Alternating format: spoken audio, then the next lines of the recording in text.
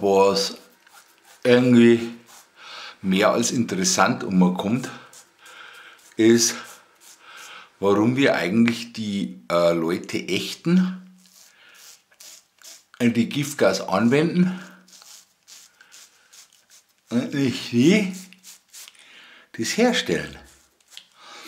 Äh, warum machen wir eigentlich nicht die Läden dicht und zwar sofort, wo diese Stoffe mit denen möglicherweise in Syrien Tausende, Abertausende von Menschen, Frauen, von, von Kindern vernichtet werden, wenn es denn stimmt, wissen wir ja nicht so genau. Man zeigt uns ja nur TV-Bilder, damit äh, Obama möglicherweise wieder einen Krieg anfangen muss, weil der regiert ja auch nicht. Man, man könnte ja die alle ächten die internationalen Konventionen sagen, diese Firma ist auf der schwarzen Liste, die gibt es ja, das ist wie bei den Bilderberger, man weiß ja, was das für Firmen sind. Und die Firmen einfach schließen. Warum tut man das nicht?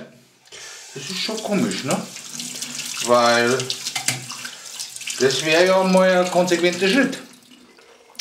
Äh, das ist ungefähr wie wenn man im Kindergarten erst lauter Bällchen mit Benzin getränkt, so Wattebällchen verteilt, dass der ganze Kindergarten voller Wattebällchen ist, dann Feuerzeuge und Zündhölzer hineinwirft, es draußen vorm Fenster den Kindern vormacht, wie die Feuerzeuge angehen und sie dann bestraft oder gar schlägt, wenn sie was anzünden. O Herr, wirf Hirn vom Himmel eine ganze Menge und bitte triff. Es ist wirklich schade, dass uns der Schalter zum Selbsthirn irgendwie verloren gegangen ist. Namaste, wir wissen es eh.